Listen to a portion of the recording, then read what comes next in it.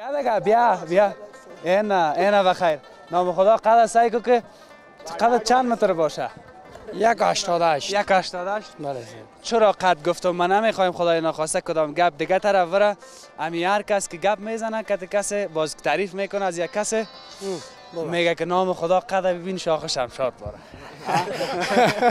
خب یک گپی هست که ناگفته نمونه دیگه همین- البته خداوند همین استعدادش با ما میره لایق دیده. اون بچه میگم چی شدی او بدر چی شد؟ آه آه ساز برو. میگه ای آدم از همون سنگچلای سمت مزار است. همین سنگچل چی؟ بگو اینا به مردم بگو که بفهمن سنگچل. سنگچل یک به معنای که نمی یک ذره یک ما و شما می سخی جان که زیارت.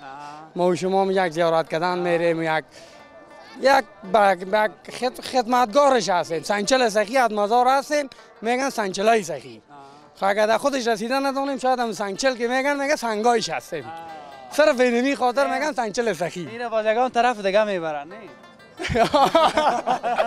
یکان نفر دوست رفیق می‌بره یکان طرف. شوخی می‌کنن. آه مذاق می‌کنن یک طور کسی که زیاد دوست می داشته باشه میره محبت زیاد می باشه علاقمندیش که زیاد می باشه بعد دسته که خوشدارش هست میگه سنچل سخی می‌خواد برو بس سنگچلای سخی کدام گفتنی داری بگو دیگه به کلگی افغانستان ما نمی آرزوی ماست که هر جای باشن جور باشن موفق باشن یک لقمه نان برسن برشان بس است. این میگم تشکر.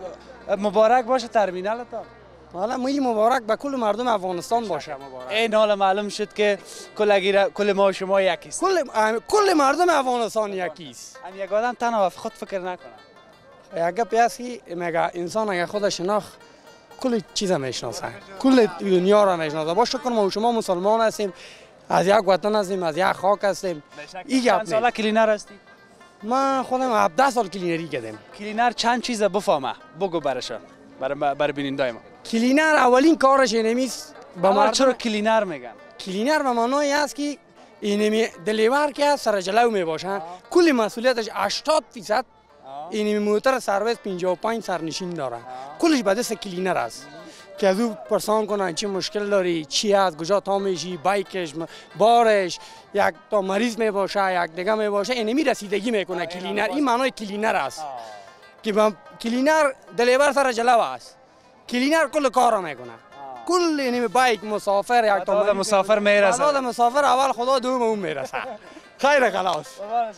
سر تشکر. زنده باشین. بخیر باشین. موفق باشین.